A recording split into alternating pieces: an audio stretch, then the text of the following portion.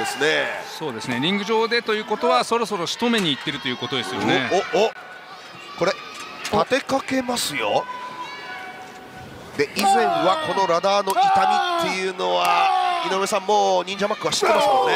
そうですね。もうあの田中将人選手やねあのスペルクレイジー選手と、えー、ああ